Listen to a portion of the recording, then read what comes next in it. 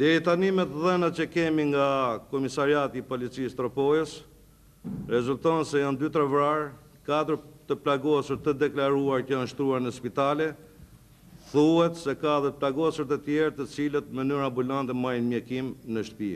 Numri i saktë nuk dihet, Dhe këto deklaratat janë të njëanshme.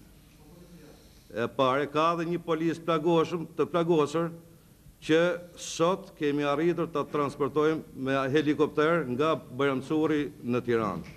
Në një kohë kur dje, ato që sulmuan komisariatin, dy prej të plagosurve dhe ishin personat me armë të fiksuar në kamerat tona, u morën me helikopter dhe u pruan në spitalin ushtarak. Zëvendësministri i Rendit Publik, Bujar Himçi në konferencën për shtyp që dha sot pasdite rikonfirmon se viktimat janë dy nga radhët e protestuesve përveç shumë të plagosurve, ndërkohë që burime nga Tropoja thonë se ka vetëm një të vdekur dhe se sot pasdite është bërë vetëm një funeral, ai i Syl Lushës. Pas ngjarjes së Bajram Currit, lideri i Partisë Demokratike ka fajësuar policinë si shkaktare të saj. Unë dua t'ju siguroj Se policia në Tropojë nuk provokoi, por u provokua nga njerëz të armatosur. Policia nuk sulmoi, por u sulmua. Ashtu siç pati paralajmëruar dy orë më parë në miting kryetari i Partisë Demokratike Azgan Haklaj. Policia nuk tërhoqi zvarrë trupat e plagosur mbrenda ambienteve të komisariatit, por me helikopterët e saj i dërgoi ata që e sulmuan me armë në Spitalin Ushtarak në Tiranë. Për qëndrimin e vendosur në mbrojtje të institucioneve dhe ligjeve në fuqi, efektivat e Policisë Bajram Currit kanë marrë vlerësimet dhe mbështetjet maksimale nga Qeveria shqiptare dhe Ministria e Rendit Publik.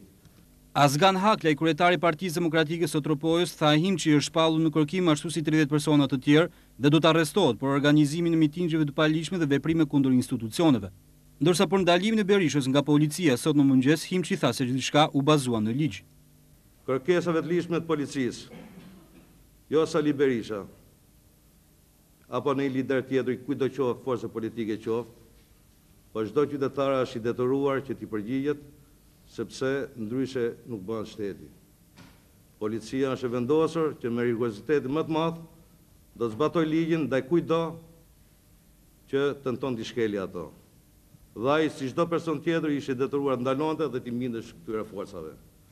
Dhe, përfundimisht, e pa dhe ai veten që mund të shoqërohej shumë lehtë në Komisariatet e Policisë të Tiranës.